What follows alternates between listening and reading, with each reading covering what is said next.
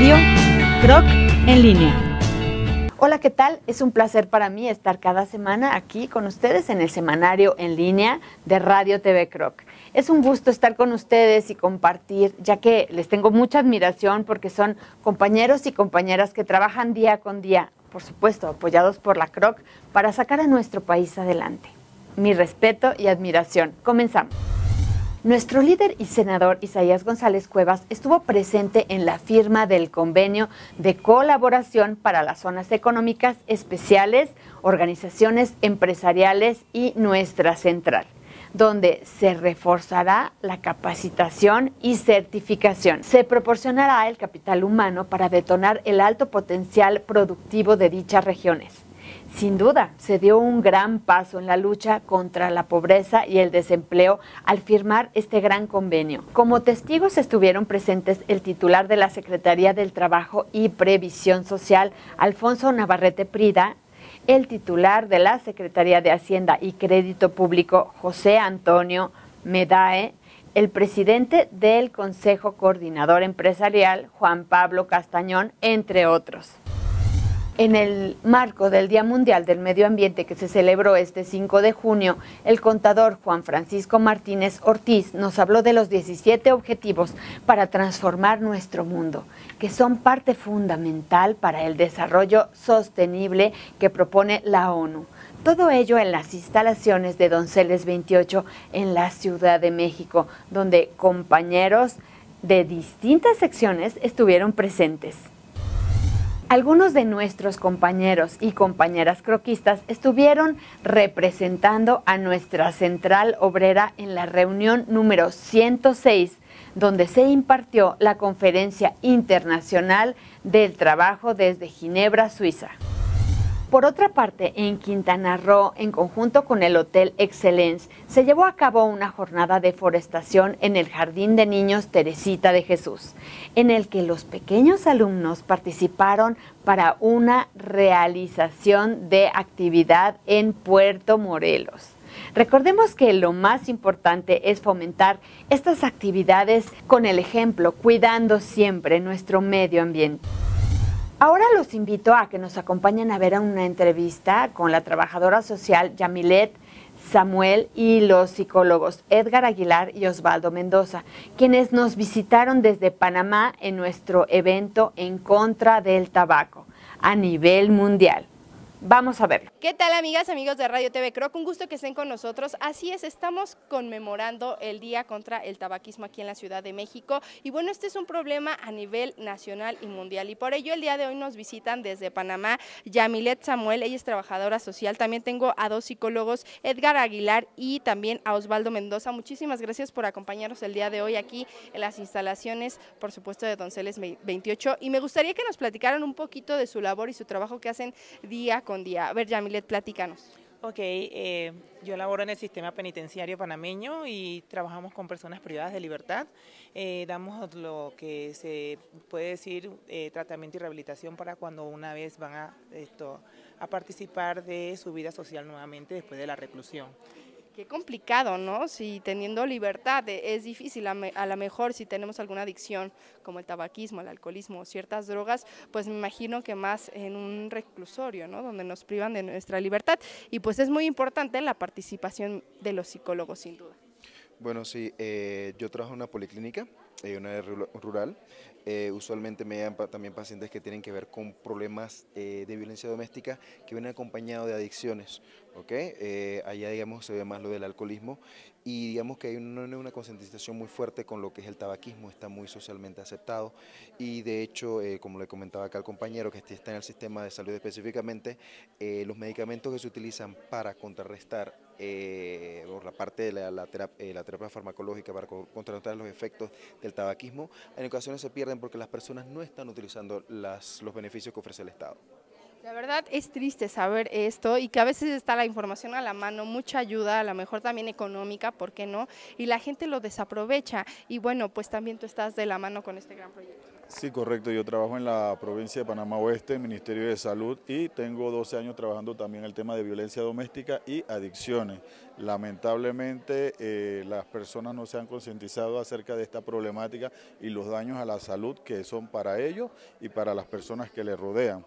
Eh, pero esto, en materia de leyes sí se están haciendo cumplir las leyes, se prohíbe el consumo de, tabaco en lo que son los restaurantes, en las discotecas, sí hay una mano fuerte eh, al momento de ejecutar las leyes, pero al momento de las personas que fuman en casa no, no, no se está llegando a esta población. Y hemos visto cómo trabaja el 6J en este tema y la verdad que es una labor titánica, muy bien estructurada, organizada y nos llevamos eso para poder llegar entonces nosotros a esa población que no está aprovechando los medicamentos y las clínicas antitabaquismo. A ver, platíquenme, el día de hoy, ¿quién les hizo la invitación, por supuesto, aquí en la CROC? ¿Cómo es esta unión con CROC, CIJ y, por supuesto, Panamá y todas sus áreas de... Bueno, sí, nosotros estamos realizando una pasantía en dependencia química por parte de la Universidad de Panamá, la OEA y, y el programa PROCER. Entonces, nosotros eh, estamos formando eh, unas prácticas en los diferentes centros, las diferentes CIJ que hay aquí en México y bueno, como parte de la programación, pues estamos acompañando al doctor Jonathan Hernández en su exposición del día de hoy. Pues yo les agradezco infinitamente, es una labor titánica, sinceramente, no solo aquí en la Ciudad de México, en Panamá y en todos los países, porque como bien lo dicen, a lo mejor hay muchos programas y a lo mejor ya que están en rehabilitación o en este caso que los privan de su libertad, pero en casa, ¿qué pasa? No? Y es tristemente porque ahí no hay quien ponga las reglas o hay una ley actualmente que diga en esta área no, o sea, hay un menor, no se fuma, no se toma, etcétera, y que se repiten patrones, ustedes me lo dirán como, como especialistas, ¿no? Sí, y el cumplimiento de las normas, porque muchas veces lo mismo que pasa allá, acá están las normas, pero por ejemplo acá salimos al, a la calle y vemos a los niños vendiendo cigarrillos, entonces es un poquito complicado la concientización de la misma sociedad para que todos mismos nos integremos y hagamos algo para cambiar. ¿Algún mensaje que les quieras dar? Eh, y la verdad, felicidades por la labor que realizas. Me imagino que has de vivir y ver historias increíbles. Sí, eh, darle las gracias, ¿verdad?, a México por la excelente acogida que nos han dado, el calor humano, ¿verdad?, que tienen las personas acá en México y al, los centros de integración, ¿verdad?, por la oportunidad que nos brindan para ver el trabajo excelente que se hace acá en México con el tema de las adicciones. muchas gracias a ustedes. Y bueno, igual, eh, de igual manera, tu labor que haces y concientizar, y no solamente a los jóvenes, también yo creo más a los adultos. Exacto, esto, bueno, el cigarrillo es la puerta de inicio a las demás adicciones. Entonces, a los padres que le demos modelos sanos para que ellos vayan copiando modelos sanos y tengamos una mejor sociedad. Muchísimas gracias, totalmente de acuerdo. Muchísimas gracias por acompañarnos. Saludos hasta Panamá, que las redes sociales son maravillosas y nos pueden ver a través de todo el mundo. Que tengan un excelente día. Esto fue la entrevista de la semana. Yo soy Edith Díez. Seguimos aquí en Radio TV Croc.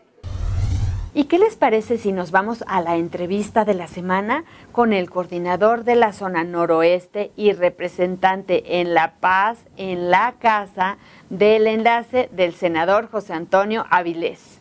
Vamos a verlo.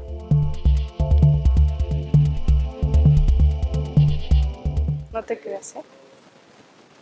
¿Qué tal amigas, amigos de Radio TV Croc? Bienvenidos a la sección de la semana. Gracias Marisol. Y bueno, tengo el honor y el gusto de presentarles a José Antonio Avilés. Él es coordinador de la zona noreste en La Paz y también es parte de la casa de Croc del enlace del senador, por supuesto, Isaías González Cuevas. José, gracias por acompañarnos el día de hoy. Hola, muy buenas, muy buenas tardes. Muchas gracias por entrevistarme. Este, pues, ¿qué te platico? Mira, acabamos, pues, bueno, pues te puedo platicar que actualmente, pues, en el estado Baja California Sur, pues traemos un, un, punch muy grande con el tema de María Trinitaria. Eh, acabo de tomar el puesto como coordinador eh, de la zona noroeste y pues el senador nos dio la, pues también la batuta de estar al frente de su casa de, de enlace en, en, lo que es en la ciudad de La Paz. Eh, pues estamos ahorita ah, tomando el puesto. te platico pues que estamos iniciando ya un proyecto de poder brindar a la zona de Los Cabos más de 43 mil litros de leche eh, que beneficiaría pues a gran parte de lo que es el, el, mundo sindical que en esa, que en esa zona se, se enfoca.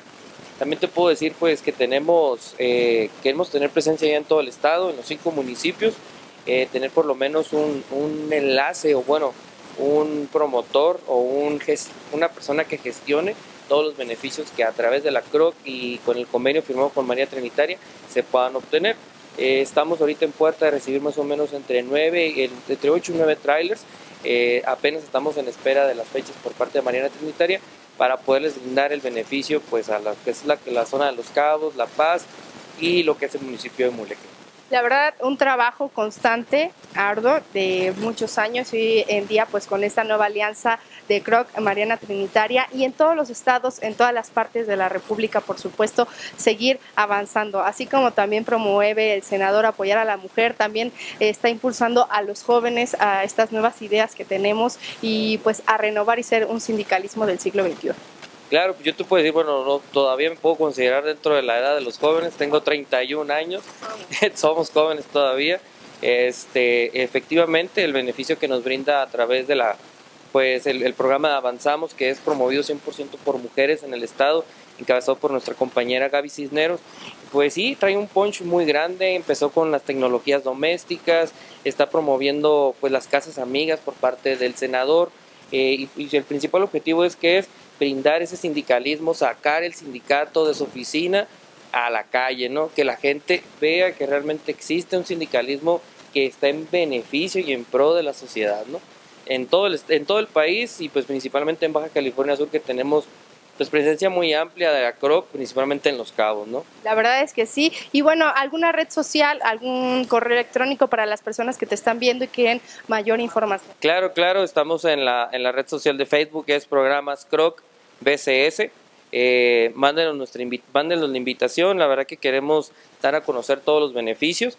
También se me ha pasado a decirte pues que también tenemos en Casa de Enlace eh, un área específica apoyando a los jóvenes y aquellas personas que quieren emprender su negocio. Tenemos el, acercamiento de personas muy capacitadas referente a los temas del INADEM. Eh, eso es por lo que también el senador nos ha dado la instrucción de, de que los jóvenes tenemos desde la señora que anda queriendo poner su fondita, su senaduría, hasta el joven que quiere poner su cibercafé, que todo, todo, todo eso, la verdad que el senador está apoyando mucho esos temas. Pues yo te agradezco muchísimo, José Antonio, que nos hayas acompañado. Ya lo saben, sigan sus redes sociales y pues seguimos trabajando para todas y todos ustedes aquí en Radio TV Creo.